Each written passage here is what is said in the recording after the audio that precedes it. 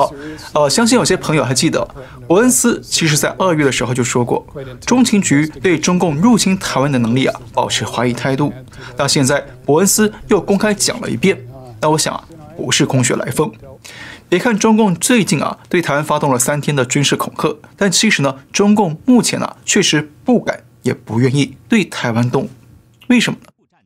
第一，习近平在四月十二号去视察南部战区的时候。他说呢，要深化练兵备战，要全面提高部队的现代化水平。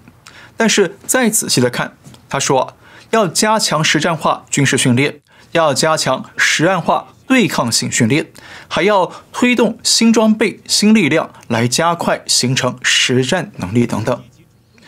有没有发现，这些话其实都围绕在一个关键词身上——实战。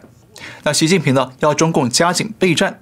但是这也反映出中共知道自己啊还没有足够的实战能力和训练来出兵台海，所以呢才要喊加强实战。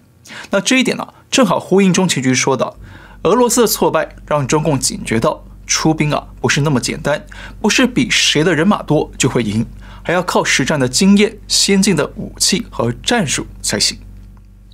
第二点呢？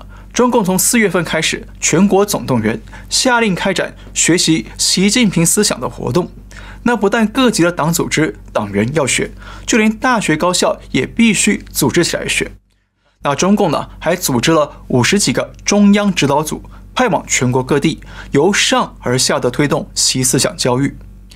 那说穿了，这是一场。党中央对全国人民发动的洗脑新战和思想整肃，北京啊要对全国的党员和人民大力的灌输习思想，要让人民的脑子都填满共产党的党性，填满习近平的权威意志，好让全国都听话，才不会违抗党中央。但是呢，反过来讲，这种全国性的洗脑新战呢，也透露了中共党内和民间呢，还是有非常多的违抗思想和反动分子。让习主席啊不得安宁，所以呢，他要进一步的推动人民的思想改造。那打仗呢，先从党内和人民的脑子里打起，否则呢，内部不安定，怎么对外出兵呢？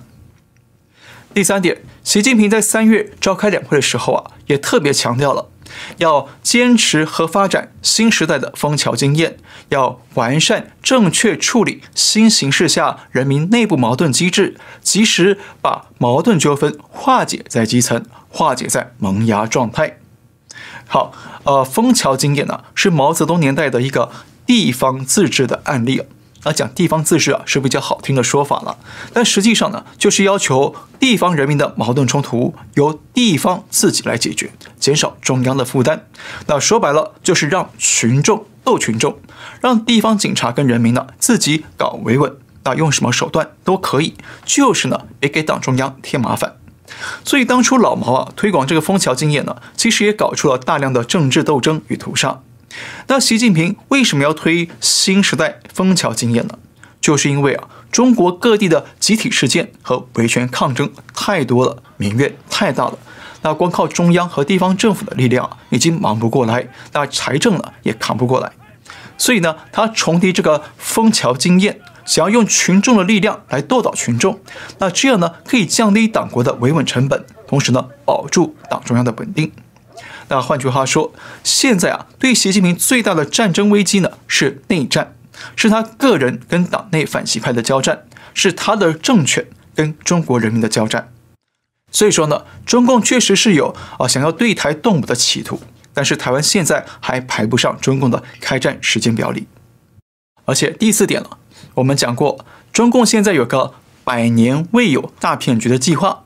要联合俄罗斯、朝鲜和伊朗等国家，一起通过军事、经济和外交等等的手段，来逆转他们当前被国际围堵的困局。